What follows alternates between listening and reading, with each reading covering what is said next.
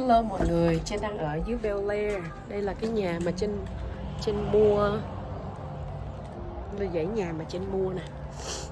Mua để cho thuê đó. Mua luôn căn này.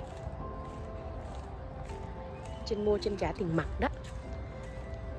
Tí nữa trên sẽ cho mọi người coi cái um, cái video cái khu mà người ta đang xây xây building trên đường Bel Air mà 58 triệu 540 ngàn. Dễ sợ ha.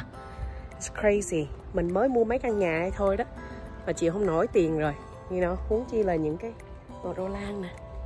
Huống chi là những cái uh, cái building lớn như vậy. Đúng là mỹ thiệt. Yeah.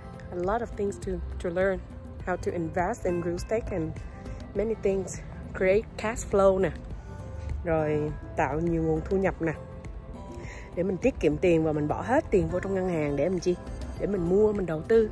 Ok rất là quan trọng nha mọi người. Ừ, cái khu này. Đây khu townhouse đây.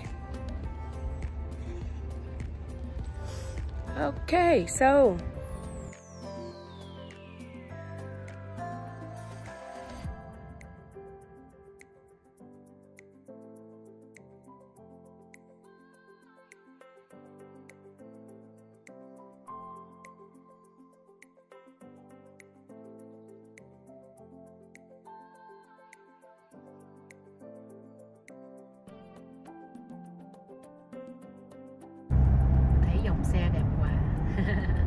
hai bên đường đều là những cái dãy commercial.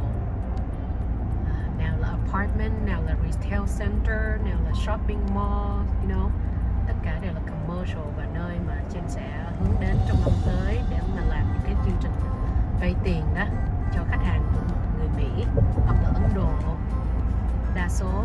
Wow rất là đông xe ngày hôm nay nha. It's beautiful